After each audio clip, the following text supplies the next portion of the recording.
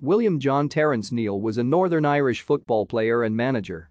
A centre-back, he captained and later managed Arsenal, guiding the club to a European final in 1980 and three consecutive FA Cup finals between 1978 and 1980, winning a dramatic final against Manchester United in 1979.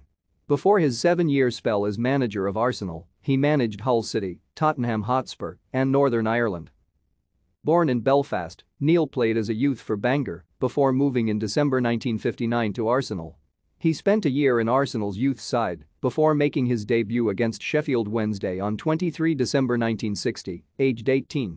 At first, he played sporadically during the early 1960s, getting between 10 and 20 games a season through the first half of the decade, though on one occasion he became the youngest Arsenal captain in the club's history at 20 years of age.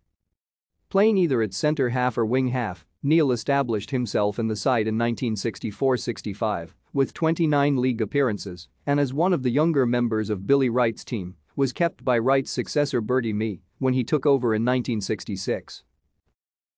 Thank you for watching. Like and subscribe if you would like to view more of our videos. Have a nice day.